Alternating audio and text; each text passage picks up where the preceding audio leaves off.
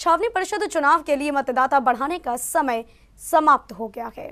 काफ़ी संख्या में नए मतदाता बनने के लिए आवेदन आए हैं।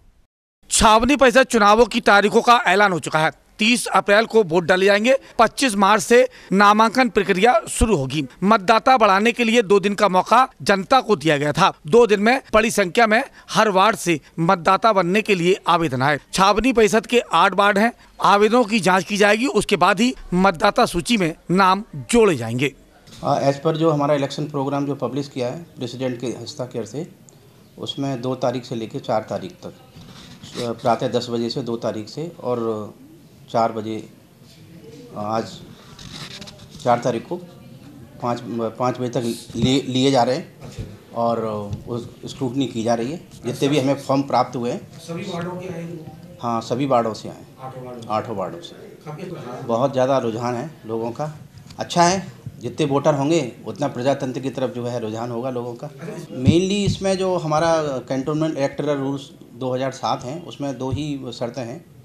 कि जो नाम बढ़ाने वाला जो व्यक्ति है, उसको छः महीने हो जाने चाहिए, एक मार्च 2023 को रहते हुए। अर्थात वो एक सितंबर 2022 को कैंटोनमेंट में रह रहा हो।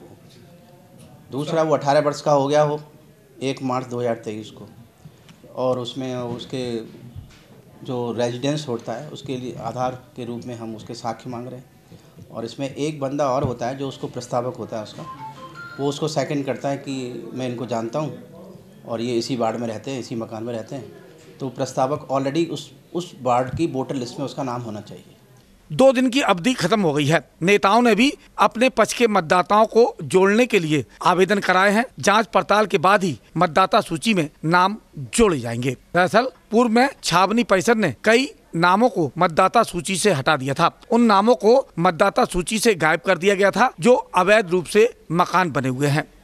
Rakesh Kanaujia C News, Agra.